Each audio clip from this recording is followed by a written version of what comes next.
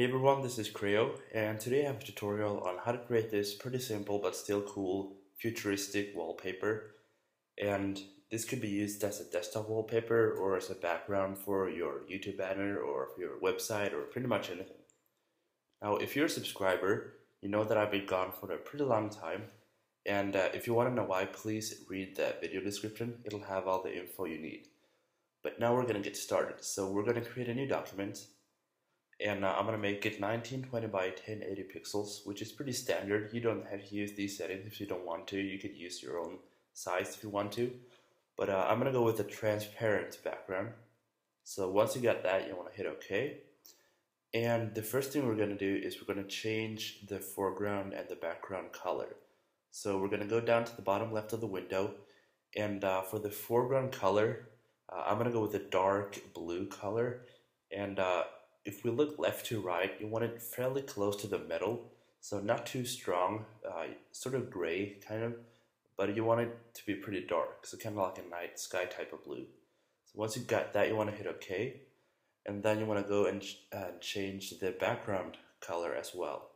And this time you want a similar type of blue, just a lighter shade, and a little bit more to the right, so it's a little bit more saturated. So something like this should be good. Now, if you want to, you can copy this exact code here and you will get these, uh, the exact same color. Uh, that's not really necessary. You could just use any color in this general area and it should look pretty good. So then hit OK. And now we're going to create like a cloudy type of effect. So to do that, we go to Filter, Render, and then Clouds. And uh, what we're going to do now is if you look at this example right here, you can see that some of the areas are a little, are a little bit more highlighted. So there's like a light lighter area around here, but it's darker down here and it's also lighter up here. And to get that effect, we have to use our brush.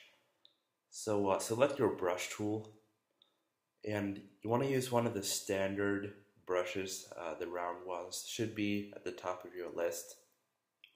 And for the size, you want it around 800 or 700 pixels, so somewhere in that area. And the hardness, 0%. You also want a fairly low opacity, so I'm going to go with 39.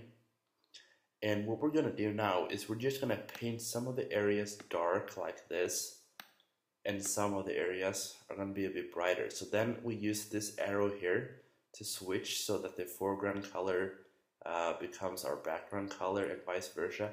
So if you hit that arrow, uh, you want to paint some of the areas so they get a little bit more light like this and uh, you don't want to paint too much because you still want to be able to see the clouds in the background sort of. So you don't want it to be too fuzzy. So this should be pretty good. Now once you've done that you want to go to filter pixelate and mosaic. So this will obviously give it like a pixelated effect. And for the cell size which is pretty much the size of each square I would suggest 85 if you go too big it'll be kind of too abstract and too flat and too boring. So uh, I, I'm going to use 85. You can use whatever size you feel like using, but 85 is a pretty good size in my opinion. And by the way, if you can't see the changes you make, you have to hit the preview box right here. So once you get that, you want to hit OK.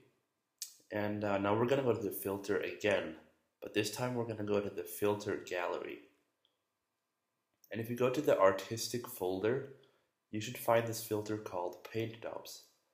Now, if you click on this uh, filter right here, you should be able to see some kind of neon uh, colored lines happening, uh, kind of wrapped around the squares, which gives it a pretty cool effect. But to get this exact effect, you have to change the settings a little bit. So you want to bring the brush size all the way down to 1 and the sharpness all the way up to 40.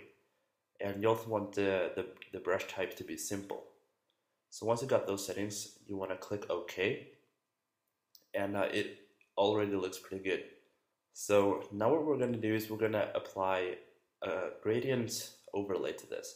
So right click on the layer, go to blending options and go to gradient overlay.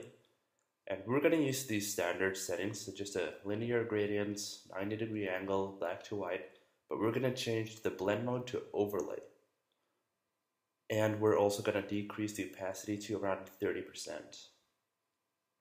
And then click OK. Now the last step is to add some more contrast. And to do that, we're going to go to Image, Adjustments, Brightness and Contrasts, and then bring the contrast all the way up to around 80, like that, and then click OK.